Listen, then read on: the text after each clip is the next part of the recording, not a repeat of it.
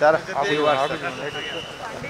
कल योगा दिवस पर पूरे देश में और दुनिया में योग का कार्यक्रम योगा दिवस संपन्न हो रहा है और माननीय मोदी जी की पहल पर आज भारतीय संस्कृति के अनुरूप सारी दुनिया योग में हो रही है।